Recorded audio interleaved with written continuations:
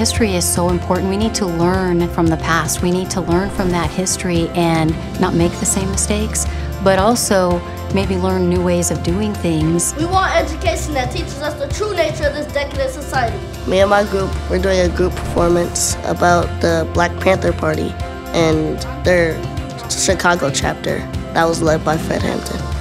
What we try to do is make history relevant for young people to study and help them understand that in the process of doing history, they're learning skills, research skills, they're learning interpretation, critical thinking skills, they're learning presentation skills, writing. For me, it was always like history is it's history, like it's in the past.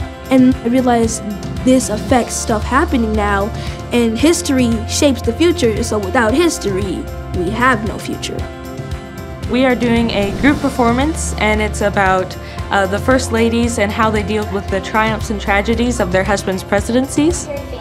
Back then, there wasn't a lot of political roles for women, and they stepped in, especially Eleanor Roosevelt, definitely paved a way for the rest of the women of today.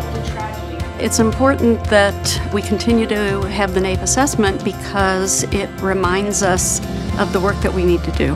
That helps us think about ways to make history more interesting, more relevant, more exciting for young people. It, it helps us learn how we might change the way it's taught in schools by how much kids understand and how they can use the information.